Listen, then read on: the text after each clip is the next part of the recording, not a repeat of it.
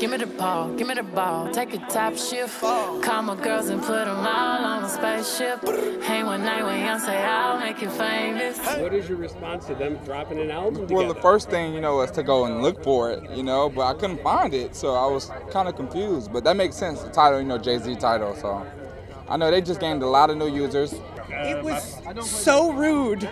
We were in a car. I need you. I need you to give me some warning. Last time she dropped Lemonade, I was at a restaurant. I had to leave the restaurant. I can't leave the MTV Awards. It's weird because we dropped our album uh, just about an hour ago, and Right, no one said anything. no one's so really talking about it. And I feel like I think some, now's the I feel time- some kind of way about Yeah, about that. Talk really. about that actually. Uh, Well, we're just as, as big as fans as everyone else, and we listened to it when we were getting dressed, and we jammed out, and we were like, oh my gosh, this is incredible. I don't know what happens, but we're gonna have to find a dark corner somewhere because I need to listen to that now.